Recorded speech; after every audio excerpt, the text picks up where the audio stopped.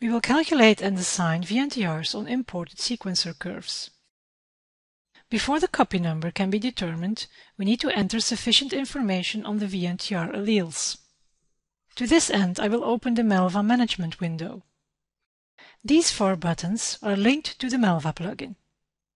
We press the first one to open the MLVA management window. And we enter a name for our scheme.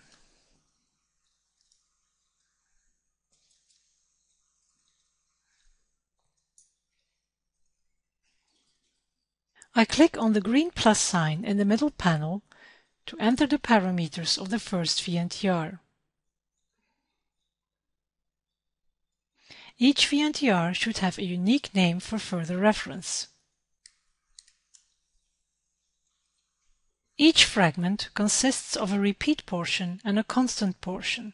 This number specifies the size in BP of the constant portion. Here I fill in the size in base pairs of a unique repeat block.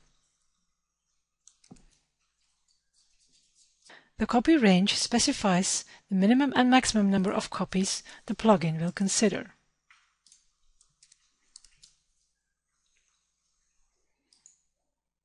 As a tolerance, I enter the maximum difference in base pairs allowed between the expected fragment length and the actual length. And here I indicate on what fingerprint type this VNTR was run.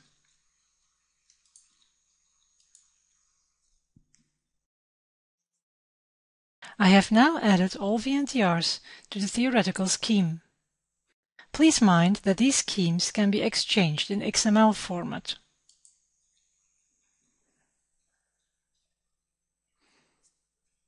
Another interesting option is that now it is possible to define schemes based on the instrument the data is generated on.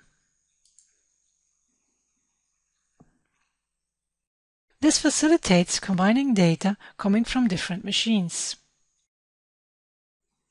The first step in determining the copy numbers involves the creation of a map of expected size ranges. Add a mapping in the selected scheme.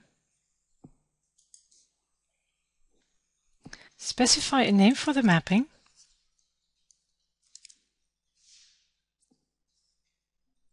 The user has three options for the calculation of the expected size ranges. Either the VNTR definition settings can be used to calculate the expected band size for each allowed copy number, or we can choose to import bins from a text file. Or the user can create custom mappings to define the expected size ranges with their corresponding copy numbers. In this example, however, we will copy the bins from the existing theoretical mapping.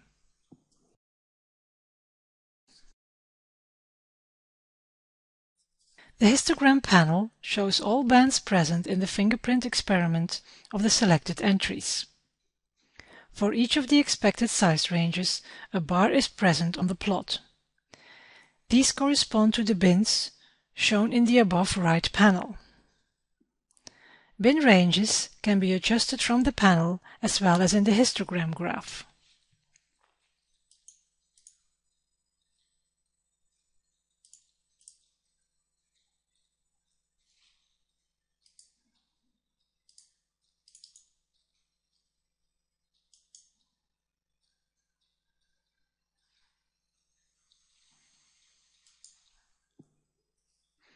I now close the MLVA management window. VNTR copy numbers can now be determined for selected entries in the database. I select the entries for which I want to calculate the copy numbers and I choose MLVA Assign VNTRs. The Assign VNTRs dialog box pops up. The available schemes and mappings are listed and can be selected.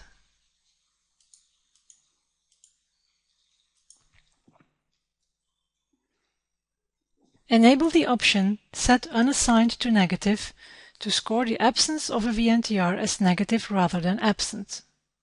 The absent VNTRs will then be considered as a separate category later on in the analysis. Press OK to look for VNTRs in the entries.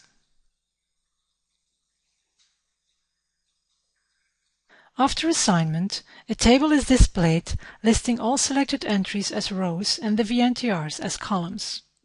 Each cell provides information about the assignment of that VNTR to that entry. In case a feasible band is detected, the copy number is displayed in the cell. The peak heights can be visualized by choosing Report, View Peak Heights. In case more than one band in a fingerprint falls within the expected size ranges for the VNTR, a question mark appears behind the copy number. The plugin will use the solution that corresponds to the band with the largest peak height value.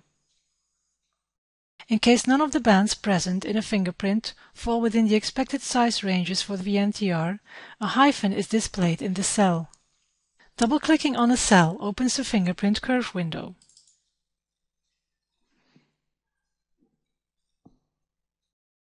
From here I can manually assign a peak or double peak to a specific VNTR.